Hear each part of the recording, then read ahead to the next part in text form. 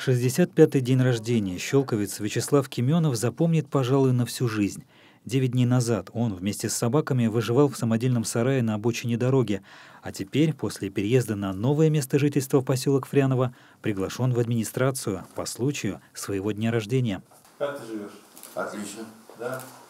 У тебя появился дом. И вот в твоей библиотеке должна быть такая тяжелая книга, она называется «Миссия России». Это наш глава Андрей Алексеевич Булгаков тебе подарил. Тяжелая книга. Это твоя книга, первая твоя домашней библиотеки.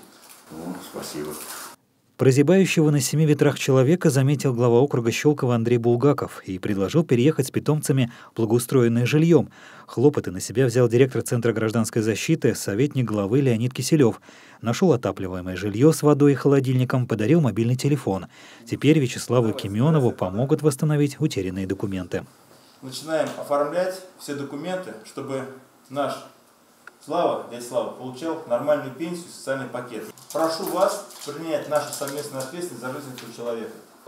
В далеких 90-х Вячеслав Сергеевич возглавлял производственный кооператив «Свобода» и, с его же слов, формально остается его руководителем.